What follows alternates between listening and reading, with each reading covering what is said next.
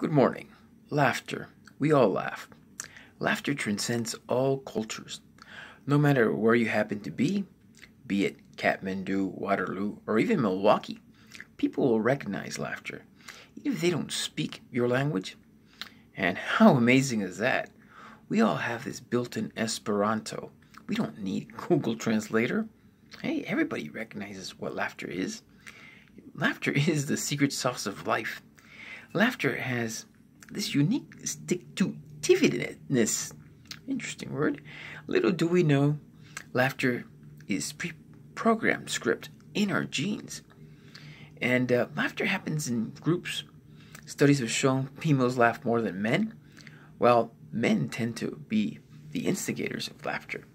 Now, if she laughs, know that you may be the punchline and uh, she may have the last laugh.